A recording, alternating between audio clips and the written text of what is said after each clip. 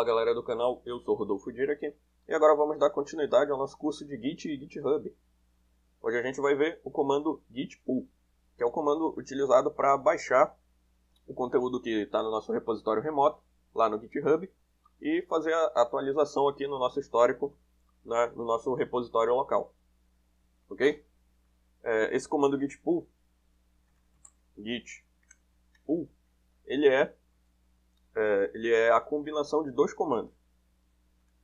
Só aumentar aqui. É o comando git fetch, que é para trazer as alterações que estão lá no GitHub, e o comando git merge, que a gente já viu das aulas anteriores, que é para incorporar as modificações de uma branch em outra branch, ou seja, para fazer o merge de duas branches. Então, o git pull ele já faz isso automaticamente, ele já faz ele já traz as alterações e já coloca essas alterações é, na, na, tua branch atual do Git, na tua branch local no teu repositório do Git, ok? Então tá aqui o nosso repositório de testes, vou dar um git log aqui, tá? ele tá só com aqueles dois commits que a gente fez da última aula. Eu vou fazer aqui uma alteração no nosso repositório aqui no GitHub, e a gente vai fazer o pull dessa alteração para o nosso repositório local pegar esse arquivo aqui, arquivo.txt, que a gente criou na última aula, e eu vou editar. Tem uma canetinha aqui. Vou clicar e vou fazer uma edição desse arquivo aqui. Que eu coloquei um arquivo qualquer da aula de git push. Vou colocar uma outra linha. Alterei este arquivo na aula de git pull. Ok? Aí eu posso fazer o commit dessa dessa atualização, né, desse arquivo. Vou colocar aqui a mensagem aula de git, git pull e vou já fazer o commit na minha branch. Lembrando que o, o GitHub está agora com essa alteração, né?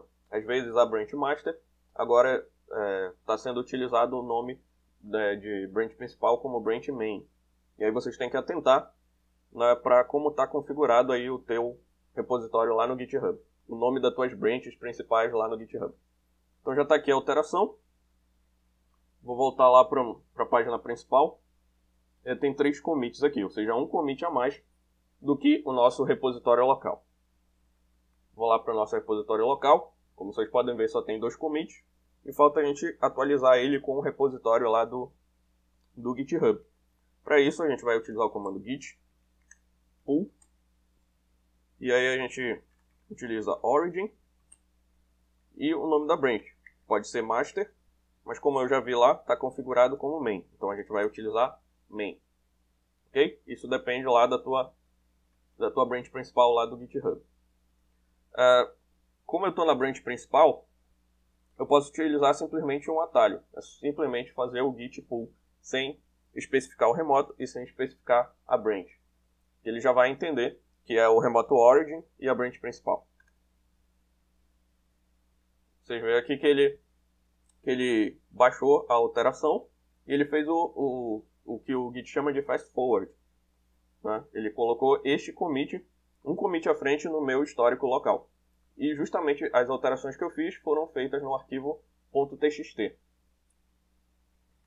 Para verificar se essas alterações foram feitas e foram atualizadas, vou utilizar o git log "-p". Então a gente vê que o último commit é esse aqui, que é a aula de git pull, e as alterações que eu fiz foi justamente eu acrescentei uma linha e depois escrevi essa linha, né, alterei este arquivo na aula de git pull.